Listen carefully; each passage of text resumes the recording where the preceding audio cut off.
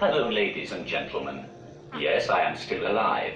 I want to say I'm sorry for not uploading a video for a few months. Neil, I will keep it real with you guys.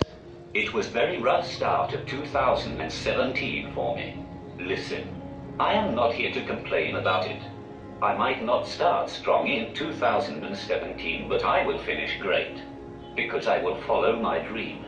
I know it won't be easy, but I need to make it happen. Thinking or saying won't get it done. Actions gets things done. I would put everything on the line. When you do that, you succeed or fail. It is better than just talking about it and not trying. Listen to me, guys. Everything is possible when you take action and always believing in one day. You will succeed. I can understand. You might not think that you have the opportunity, but you are very wrong. Let me break it down for you guys. Not everyone will give you an opportunity, but I know a person that will help you. It is you because you can create an opportunity for yourself. Please always remember this. Opportunities are created, not found. I will say it again. Opportunities are created, not found. Never wait to give you an opportunity to succeed, because it will never you. It's time to grind, then you will shine one day. Never talk about it. Just do it. Never think about it. Just make it happen. Never stress. Put your game face on and fight back. When you fight, there will two results you will receive. You might win and everything is perfect.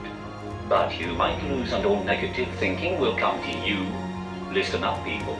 In life you will only lose when you gave up. When you don't succeed, then you will gain something to avoid failing. Am I right? I will tell you something. When we fail, it should motivate us to try again, but never created an opportunity to give up. Do you think they will wait for the perfect moment?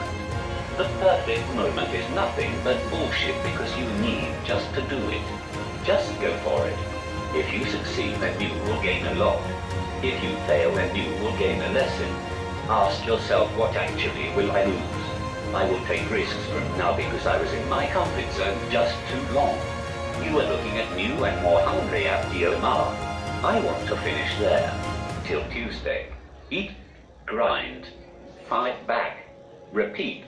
Just remember, everything is possible.